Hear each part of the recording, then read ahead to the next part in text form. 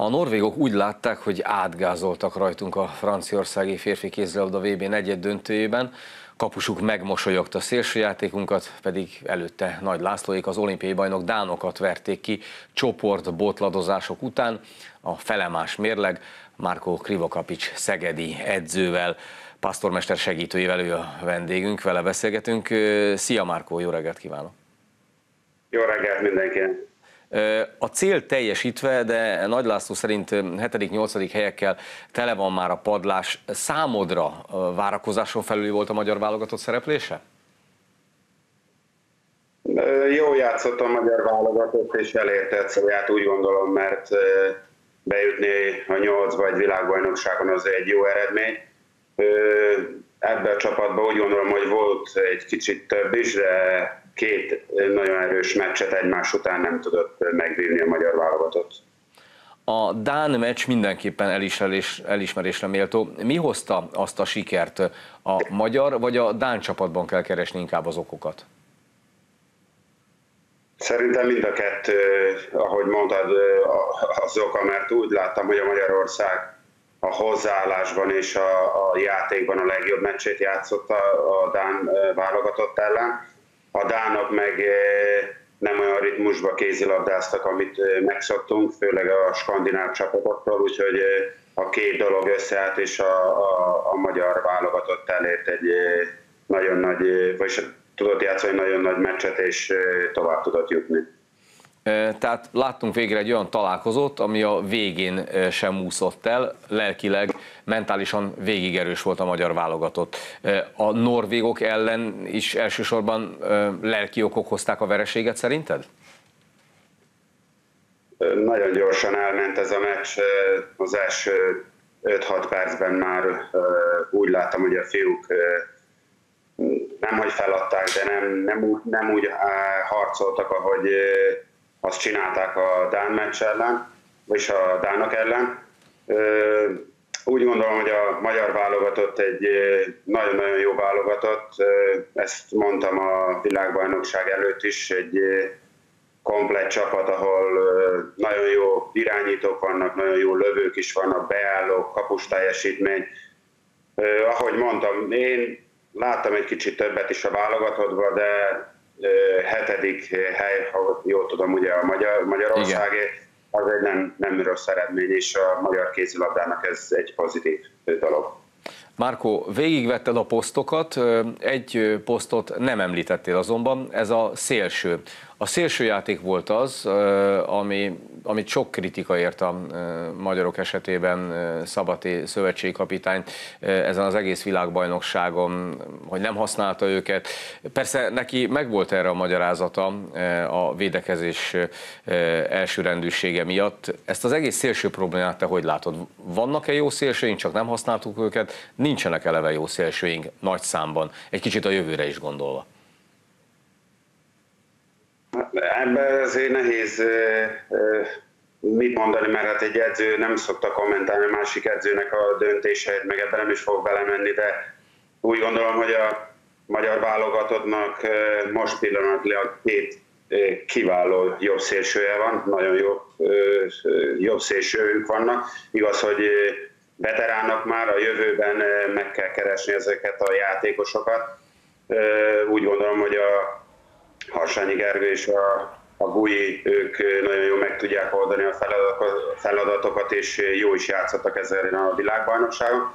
A bal szélső az úgy gondolom, hogy nem mostantól van ez a probléma, már régóta a, egy bal szélsővel játszott a magyar válogatott, és a magyar válogatott keresi ezt a, ezt a posztot nem egy igazi balszésővel játszott a, a világbajnokságon, de úgy gondolom, hogy a Juhász Ádám ahhoz képest, az első világversenye is 20 éves nagyon jó megoldotta a dolgát. A norvégok esetében azt láttuk, ahogy utaltál rá, hogy ez a mérkőzés az elején eldőlt, hogy szinte bántóan rohanták le a mélyénket a kezdésnél, egy más sebességű játékot játszottak. Amit Norvégiától láttunk, ez az igazán modern kézilabda? Ez a jövő? Ez a jelen és a jövő? Igaz, hogy más ritmusba kézilabdáznak, de nem csak a norvégok, hanem a skandináv csapatok úgy gondolom, hogy feladták a házi feladatot a többi csapatoknak és a többi válogatottnak, hogy hogy kell kézilabdázni. Igen, ez, ez úgy gondolom, hogy a, a jövő a kézilabdában egy, egy kemény védekezés, jó kapus teljesítmény és a lerohanások, az indítások. Ez az, amit képvisel a, a norvég válogatott, de ahogy mondta, nem csak a norvég, úgy gondolom, hogy a, a svédek is nagyon jó kézilabdáznak, a, a dánok is igaz, hogy ők ezt a negyed döntőt és a nyolcad döntőt nem úgy játszották, az izlandiak is jó kézilabdáznak, ez az a modell, amit követni kell szerintem. Voltak jó magyar fiatalok, már Juhász Ádámot említetted. Van-e a VB-nek magyar tanulsága az utánpótlásunkra, az NBA egy légiós politikájára, a magyar fiatalokra nézve? Ott volt ugyanúgy Ligetvári Patrik, aki ugye 96-os, ő egy nagyon fiatal játékos, Bánhidi Bence, aki 95-ös, Bodó Ricsi 93-as. Úgy gondolom, hogy a Magyarország azért használt fiatal játékosokat tudott beilleszteni, fiatal játékosokat a válogatottba. Fontos, hogy Bencének, Bodó Ricsinek ez már a, a második világversenye, a Ligetvári Patriknak, Juhász Ádámnak az első világversenye. Én úgy gondolom, hogy ebből rengeteget fognak ők tanulni, és rengeteg tapasztalatot fognak hozni magukkal a következő versenyre. Én úgy gondolom, hogy a magyar válogatott az jó úton van, lassan kezdi használni a fiatalabb játékosokat is, és úgy látom, hogy a jövőben a, a magyar válogatottnak lesz helye mindig ott a negyed döntőben legalább. A szegediek tetszettek? Hozták a srácok, amit vártatok tőlük itthon? Jól játszottak a szegedi játékosok. Én úgy gondolom, hogy mindenkinek különböző dolga volt a válogatottban. Úgy gondolom, hogy a, először is a Szabival kezdeném a legtapasztalat, a játékos, akinek legtöbb tapasztalata van. Úgy gondolom, hogy a Szabi lejátszott egy nagyon jó világbajnokságot, a hozzáállása a, egy, tényleg egy példakép, ahogy a válogatottban, ugye a, a Szegedben is nagyon jó védekezett, úgy gondolom, hogy sok percet is játszott. A többiek, Bánhidi Bence és Bodó Ricsi, ők kevesebbet játszottak, de úgy gondolom, hogy jó megoldották a, a szituációkat.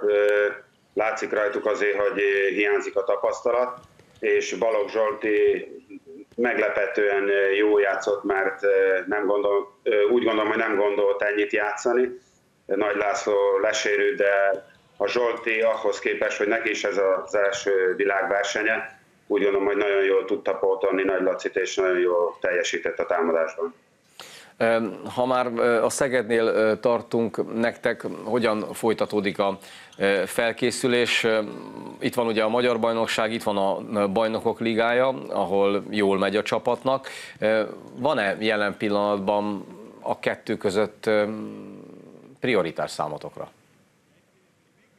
Még mindig prioritás a, a BL, addig, ameddig nem jutunk tovább a, a csoportból most nagyon fontos meccsek várnak ránk, maradt öt meccsünk a, a BL-ben. Nagyon szeretnénk elérni legalább a harmadik helyet a csoportban, hogy ez egyszerűbb legyen a, a nyolcad döntő. Hát most pillanatilag készülünk azok a játékosokkal, akik itt maradtak Szegeden, és a fiatal junior játékosainkkal, úgyhogy úgy gondolom, hogy ez nagyon jó fog jönni, főleg a fiatalabb játékosainknak és a azok, akik meg itt maradtak, tudtak ilyen egyéni képzést, egyéni edzéseket csinálni, és remélem, hogy ha visszajönnek most a fiúk hétfőtől, együtt tudunk gyakorolni, mert szombaton, következő szombaton már kezdődik a magyar bajnokság, aztán csütörtökön már utazunk, játszunk Brestben. Végül azt mondd meg, Márkó, az látszik, hogy a légiósok melletti a jövőt, a szegedi jövőt magyar tehetségekre is szeretnétek alapozni. Nyáron is visztek majd újabb magyarokat a klubhoz? Nekünk a csapatunk megvan a jövő évre, nagyon kevés változás lesz, úgyhogy nem fog jönni, lehet, hogy jön magyar játékos, de most pillanatilag nem nincs a, a, a nem gondolkozunk abban, mert ahogy mondtam, a jövő évre megvan a csapatunk, lehet, hogy lesz egy kevés változás, de nagyon kevés, úgyhogy nem hiszem, hogy lesz magyar új játékosunk jövőre. Bizonyítsanak a most ott lévő fiatalok. Köszönöm szépen, hogy velünk voltál, szia! Én is köszönöm, viszontlátásra!